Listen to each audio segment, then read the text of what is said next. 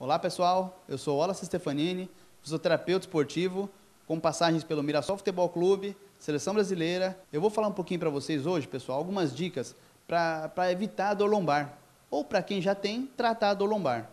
Dor lombar é o seguinte, se a pessoa é, não teve, ela vai ter. Tá? Se ela já teve, ela, se ela não se cuidar, ela pode ter recidivas. E até, hoje a dor lombar, a gente sabe que 90% das dores lombares pode vir de algum problema extra, tá legal? Algum problema assim, é, algum fa fator que a pessoa fique estressada, tenha um desgaste com alguma outra pessoa, algum conflito na vida dessa pessoa, a, a dor lombar pode vir atacar. A gente tem o fator mecânico também. Se a pessoa tiver, vamos pensar, algum estresse na musculatura lombar, na musculatura do glúteo, ou algum desequilíbrio de anterior e posterior, pode causar dor lombar também.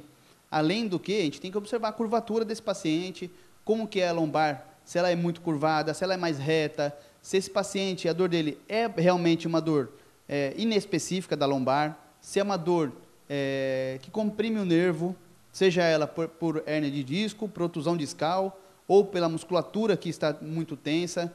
Então, tem vários fatores. E hoje, tanto o neurologista quanto o fisioterapeuta, a gente tem técnicas para detectar da onde está vindo essa dor lombar. E o que está causando essa dor lombar? Se é um problema discal, se é um problema muscular ou se é uma compressão de nervo. 90% dos casos, nós vamos tratar com a fisioterapia. Essa crise vai ser é, vai desinflamar aquela, aquela fase aguda da, da lesão, aquela é, a crise que o paciente fica, né? Às vezes até ficar bloqueado.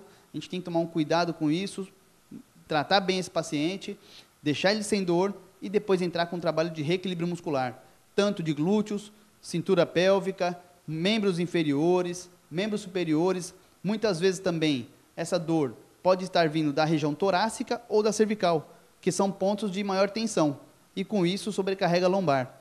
Ou seja, o trabalho hoje do fisioterapeuta não é tão simples, não é apenas você tirar a dor do paciente. E o mais importante é você reequilibrar toda essa musculatura, qualidade de vida. Hoje todo mundo pensa muito nisso. O paciente que tem essa dor, dor lombar, isso incapacita muito esse paciente. Então a gente tem que pensar na, na dor, tirou a dor, reequilibrar a musculatura, trabalho de alongamento e qualidade de vida para o nosso paciente. Seja ele uma pessoa sedentária, que trabalha atrás de um escritório, sentado o dia todo, ou aquela pessoa que gosta de correr, gosta de praticar seu esporte de final de semana e também sente essa dor.